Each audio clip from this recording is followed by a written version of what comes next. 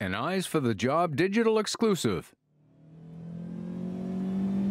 Chris, I'm fine with classic rock, just not on every road trip. For a millennium or one, it's been known and agreed to that the passenger is always the road trip DJ, buddy. Yeah, right.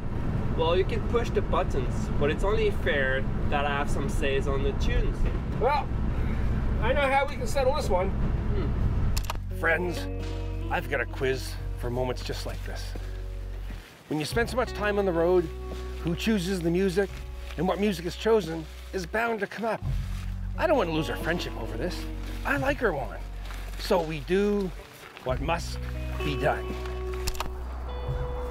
This is a nice little park. I should bring my boy over. Have a seat, everyone.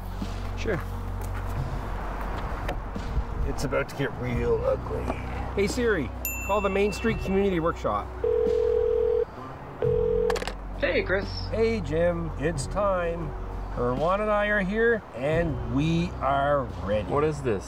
Some sort of a test, Chris? The rules are easy. Five questions each. Each one answered correctly is a point. The one with the most points is King of the Road and the Road Trip DJ. Game on, Chris. Prepare to lose, Erwan. Round one. Finish the lyrics, Erwan. Some people call me the Space Cowboy. Well, um, I have no idea. I don't know. Can I say it? I know, I know, I know. Uh, what is Chris? Some call me the gangster of love. That's Steve Miller, but Oh, Steve Miller, of course. I can see where this is gonna go. Your turn, Chris. Finish the lyrics. Sing us a song. You're the piano man. Sing us a song tonight.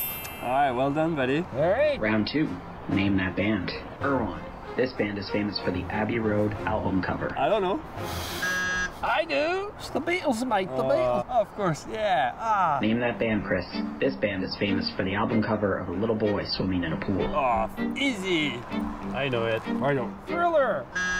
Nirvana. Oh, Nirvana. Yeah. Oh, okay. I don't know. I don't follow Nirvana.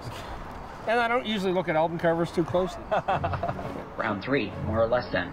Erwan, are there more than or less than 2,000 playable guitar chords? I'd say more. Definitely more. Yeah. Chris, are there more than or less than 90 musicians playing in a full-scale symphony orchestra? Ooh. I believe there are more than 90.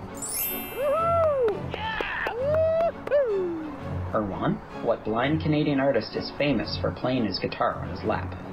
I have no idea. Jeff Healey, bud. Is he famous in France? Oh, no. Jeff Healey was an awesome dude.